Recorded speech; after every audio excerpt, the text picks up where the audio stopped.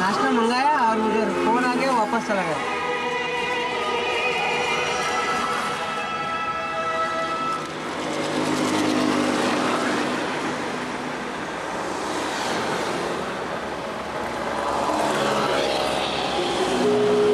हम्म, डाल सकते हैं